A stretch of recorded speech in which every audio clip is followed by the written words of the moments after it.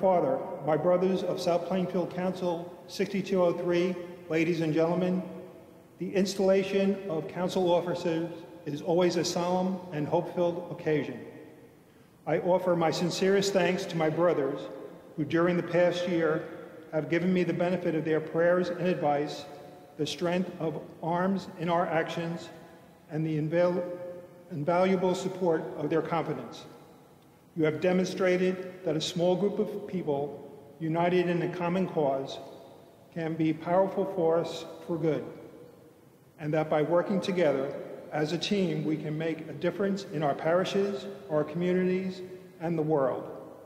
On behalf of the officers who are retiring from their posts, I extend our worthy successors our warmest congratulations, assurance of continued cooperation, and prayerful wishes for the most successful administration. Please rise. It is my pleasure to welcome and introduce our worthy District Deputy Dave Pinto and Di- District Warden Steve Bertan. Steve Batano. To you, our worthy District Deputy, I present the gavel and ask you to proceed with the installation of officers.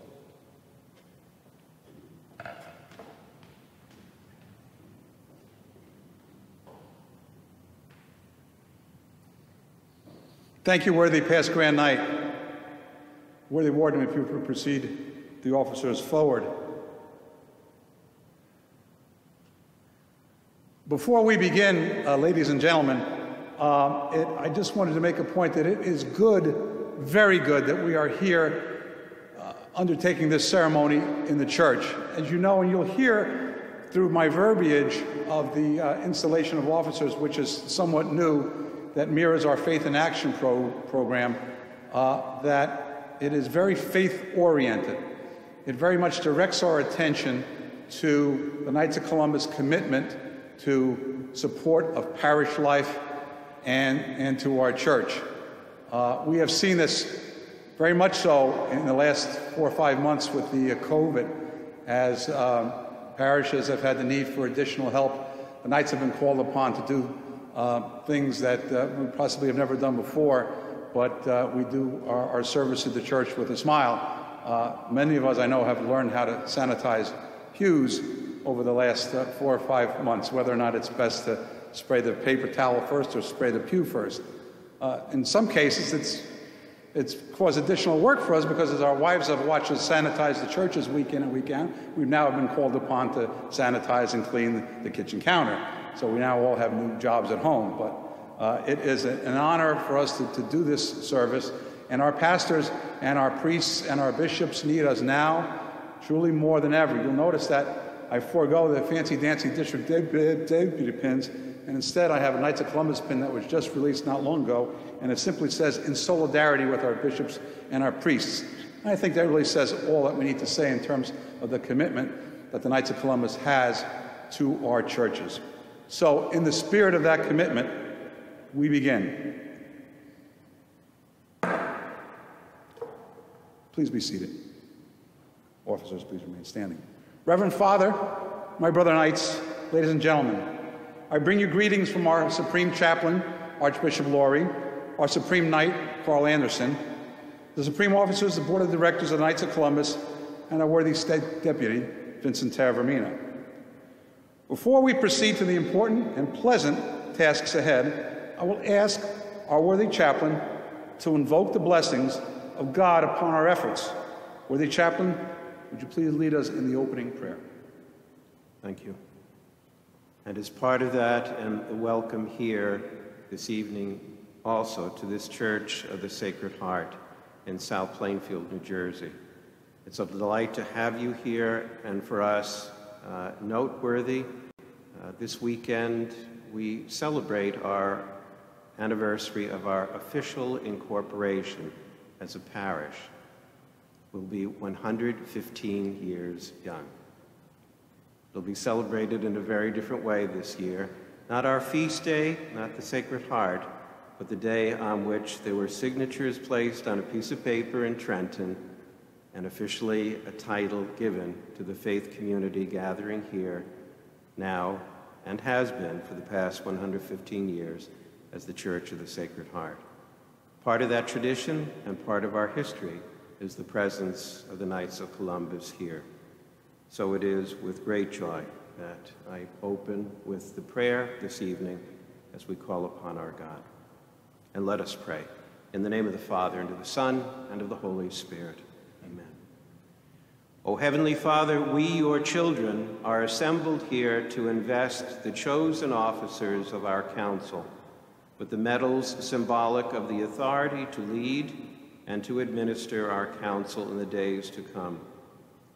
Bestow upon us the grace to remember that as all duly appointed authority stems from you, so also does the wisdom to exercise that authority with justice and charity. Inspire us, therefore, to always consult with you in the important decision making process. Imbue us with the strength to act always in the spirit of brotherly love, and grant us the precious humility to acknowledge the ever present possibility of error in human deliberation. Heavenly Father, aid us to be the finest example of complete dedication to the practice of Christian principles, as was our venerable founder, Reverend Michael J. McGivney, and to conduct ourselves at all times so as to reflect your holy will. In the spirit of Father McGivney, may our order continue his work of caring for the needy and the outcast. Through the example of his life and virtue, may we follow your Son, Jesus Christ, more closely, following his commandment of charity and building up his body, which is the church. With Our Lady of Guadalupe, under whose maternal protection our order is consecrated, we make this prayer through Christ our Lord. Amen. Worthy Warden, will you please lead us in the Pledge of Allegiance?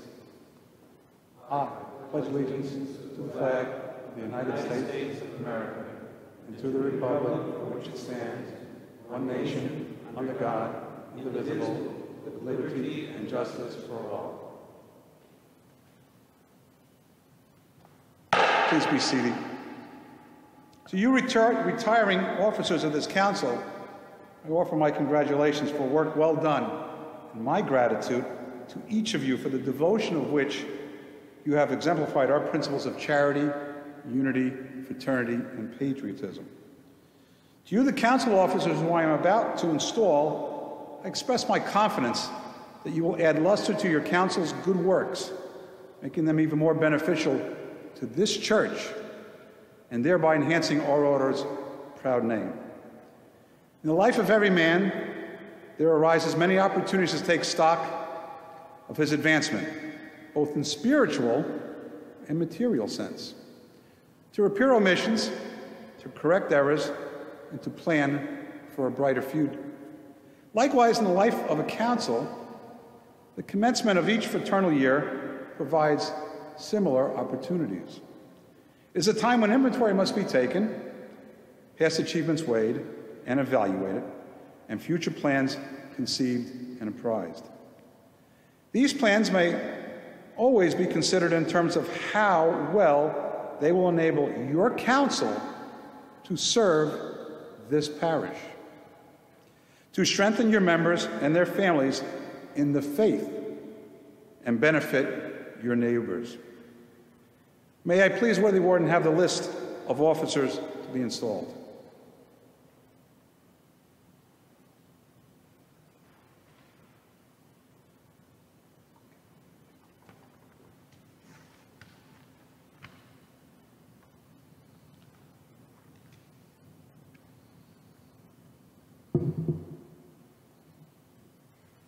I now ask our worthy chaplain, Father John, to bless the medals of office.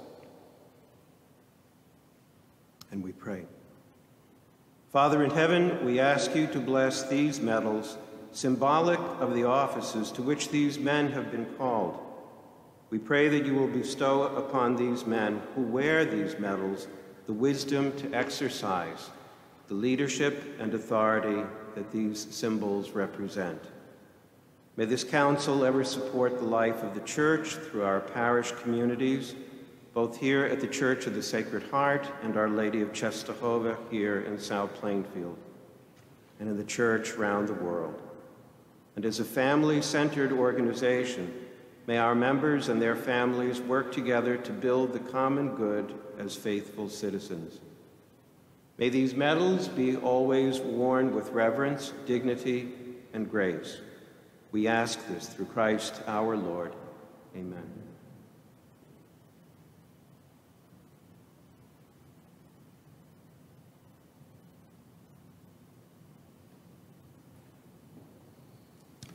Thank you, worthy chaplain. As council chaplain, you are heir to the great vision and legacy of our founder, Venerable Father Michael J. McGivney, and a key figure in the structure of your council and the steward of its spirituality. The genius of Father McGivney was that he saw the great potential inherent in the respective collaboration between clergy and laity. And that lies at the heart of our order. More than ever before, your role as council chaplain is indispensable to the Catholic character of our order. And I shall now, it is my high honor now, to officially install you as the council chaplain. And of course, medal that is already on Father John. Father John, thank you very much for your service. You're welcome. Thank you. Worthy officers, you have been chosen by your brothers to guide the destiny of your council during this year. Your brothers have demonstrated their confidence that you are capable of outstanding leadership. Prove that they were correct. Remember that it is through your cooperation that your past achievements have been made possible. Continue to merit the cooperation that by measuring all of your decisions in the light of what will be fair, just, and beneficial to them and this parish. Solicit their advice. Consider it carefully, but remember always that the good of the order is paramount. Under the leadership of your Grand Knight, the council officers must function as a united team. So, for so powerful is the light of unity that it can illuminate the whole world. As your district deputy, I offer you this advice. Your council will be judged on its actions. Accordingly, as fraternal leaders, you should focus your energies on strengthening parish and family life and growing your council and membership strength for your families. Charitable outreach and fraternal activities. This will build a lasting legacy of your council in the spirit of Father Michael J. McGivney, our founder. Remember, your council's greatest assets are its members and the unique gifts and talents that it brings to the service of this parish. And now confident that you will fulfill the duties of your respective offices to the best of your abilities, live a good Catholic life, and serve as a model of Catholic brotherhood, we shall proceed with the installation of council officers. It is now my duty to extract from you several promises that, given in the presence of your brothers, friends, and family, will be binding as long as you remain in office to which you have been elected.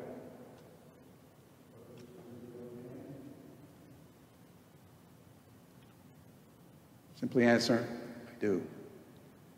Do you promise to obey the laws and rules of this order?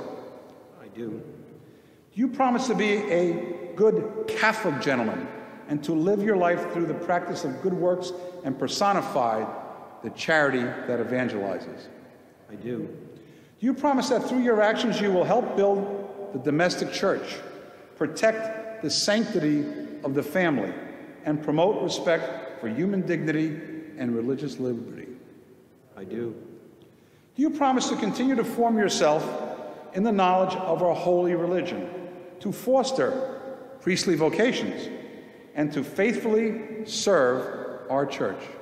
I do. Do you promise to uplift those in need, to respect your fellow human beings, to treat all fairly, and to disagree with others honestly and respectfully through civil discourse, and to support one another. I do. It is important that you and your members remember that upon conduct of each depends the fate of all. Know that locally your council and globally our order is an enormous force of good, and that the world and our church needs us now more than ever. Your district deputy, your state deputy, the supreme officers are eager for your success and prosperity of your council.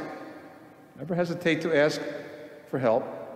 Study the official instructions you have received and take advantage of any resources that are available.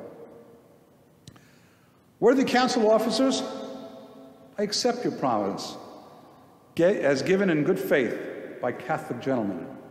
Therefore, I shall now invest each of you with your Medal of Honor, a symbol of the duties and responsibilities you expect, accept as Knights of Columbus, fraternal leaders. Your families may come up and present the medals with you.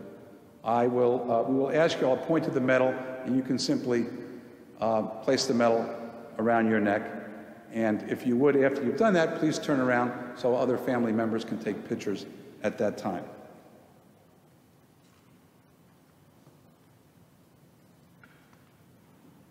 Worthy Grand Knight, Thomas Berry.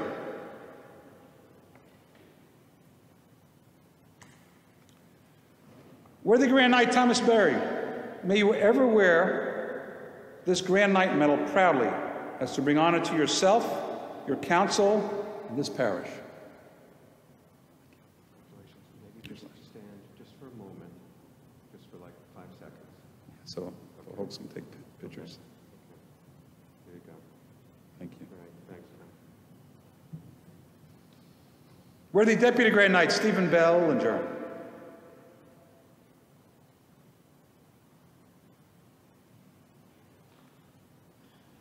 Worthy Deputy Grand Knight Stephen Bellinger, may you ever wear this Deputy Grand Knight medal proudly as to bring honor to yourself, your council, and this church. Congratulations. Just simply turn around. Stand around just for a couple of seconds. Terrific. That's great. Thank you. Worthy Chancellor Jeffrey Pauls.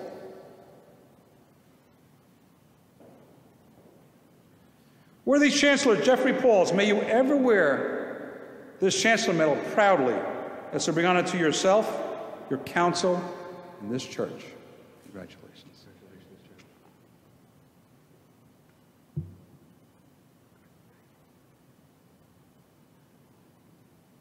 Worthy Recorder Colin Berry.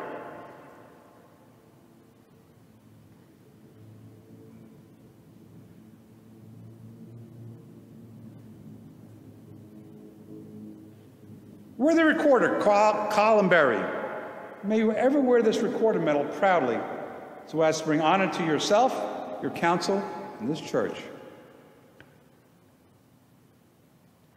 Congratulations. Just turn around for a minute. Stay there for just a bit. Okay, thank you.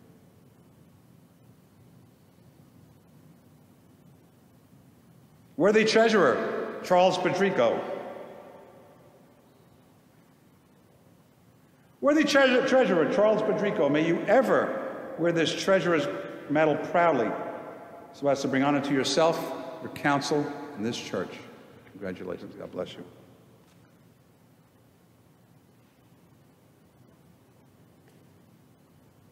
Worthy Trustee Joseph Wilkowski Jr.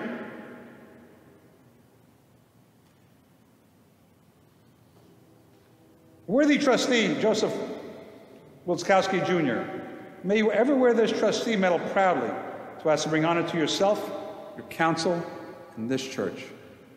Congratulations and God bless you.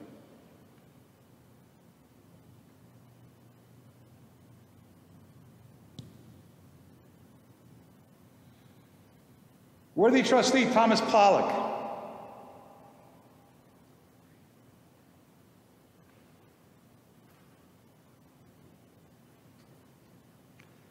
Worthy trustee Thomas Pollock, May you ever wear this trustee's medal proudly as to bring honor to yourself, council, and this church. Congratulations. God bless you. We're the inside guard, Thomas France.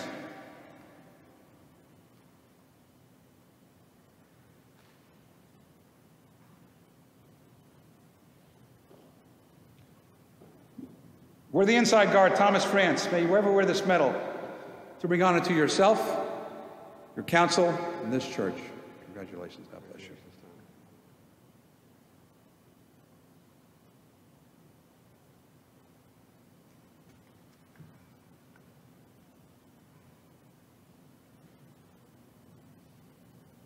Worthy District Warden, please form the officers.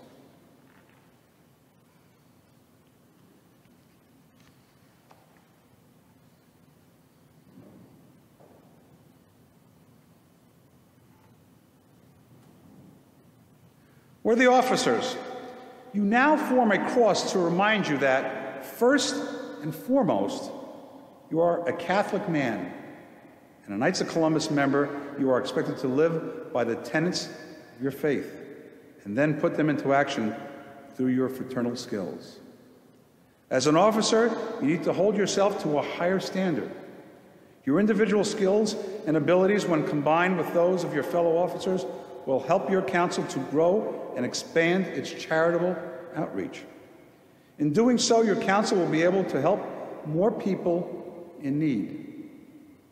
The expansion of your charitable service projects is also an effective way for your council to continue to grow and to recruit and retain new members.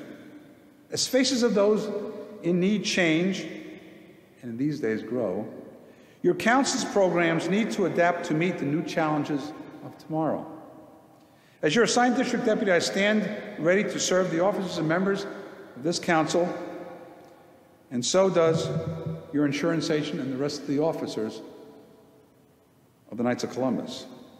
And therefore, it's my high honor and distinct pleasure to now declare that you are truly qualified and installed in your office and authorized to conduct the business of your council and our order until such time that you have been lawfully succeeded.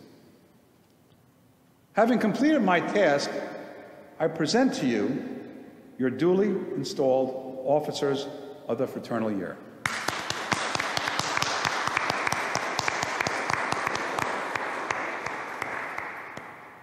I now call upon the worthy Grand Knight if he would like to say some words.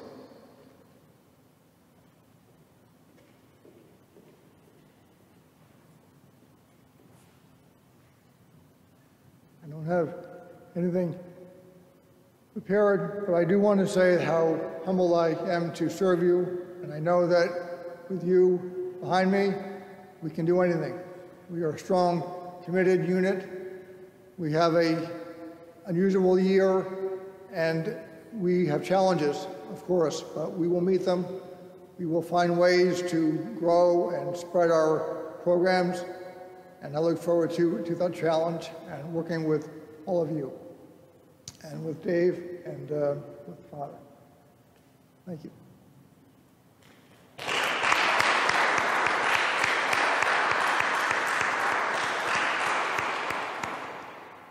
Worthy chaplain, as we close our official business of the day, please invoke the blessings of the Lord upon these men who will serve as officers of this council, and upon all here present who will be their close companions in the great works of the Knights of Columbus.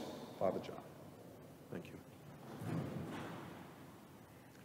Worthy officers, as you now stand together, you form a living cross. May the cross ever be a reminder to you that you must be renewed in Christ and that your administration must show that Catholic lay leadership among the people of God flows from this renewal, invoking God's help to fulfill this mission. I now ask the Lord's blessing upon each of you, and we pray. Holy Father, we thank you for the graces which you have bestowed upon us all. We thank you for the spirit of cooperation which has reigned here and for the inspiration which you have placed in the hearts of these men today. We pray that you will find merit in the endeavors of our newly elected officers and the brother knights of this council and their families. We ask this as we ask all things in your name and your blessing upon them and each of us. You are God, who is Father, Son, and Holy Spirit. Amen. I now declare this installation of officers complete. Congratulations and God bless you.